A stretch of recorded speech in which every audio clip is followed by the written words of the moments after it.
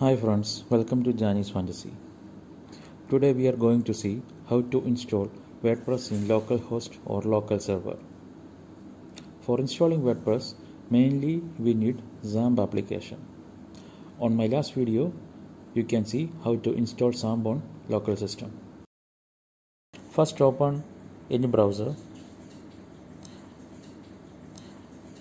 and go to google.com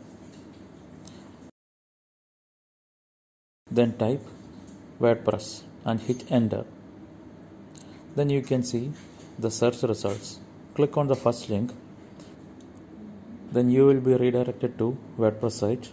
Scroll down and you can able to see the download link. Just wait till the download finishes. The download is now finished and I copied the downloaded file to my desktop. Right click on that file and extract it.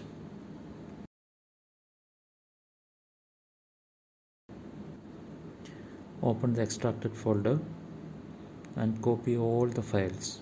Don't skip any files. Copy all the files and go to your XAMPP folder.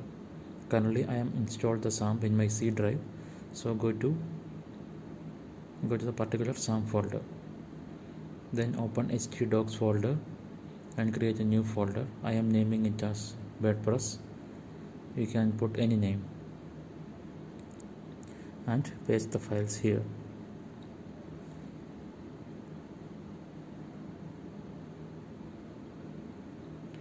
now we copied everything to the XAMPP folder.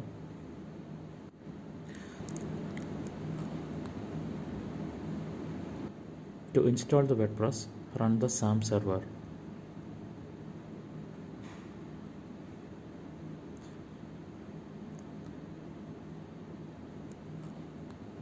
Okay now open any browser and type localhost slash the particular folder name currently I given the name as WordPress so I am typing it here.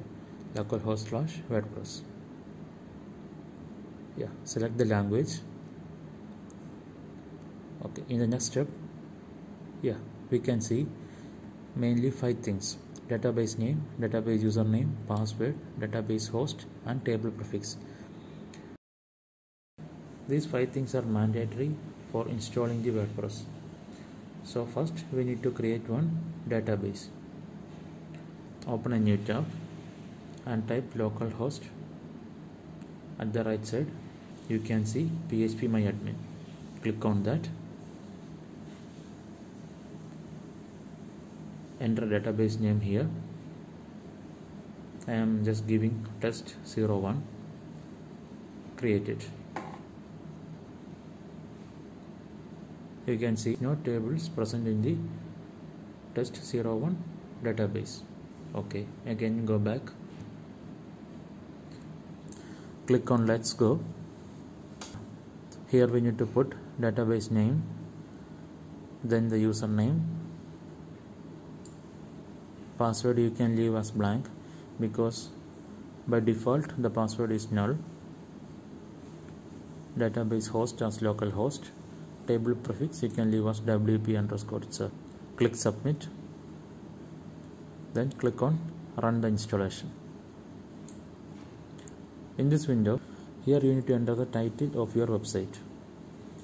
I am just entering as Janis fantasy username and the password is automatically generated. Copy the password some somewhere else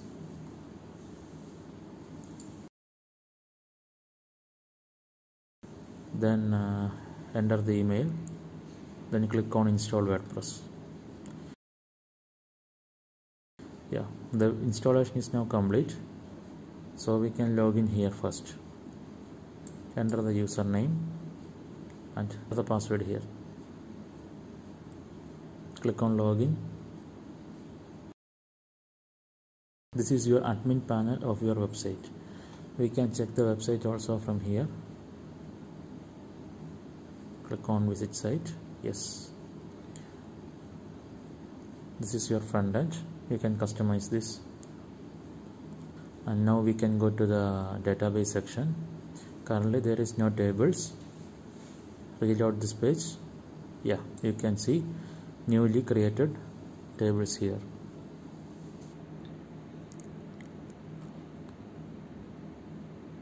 Now we successfully installed WordPress in our local system. That's all friends. In the next video we can see how to install the WordPress themes and plugins. Thank you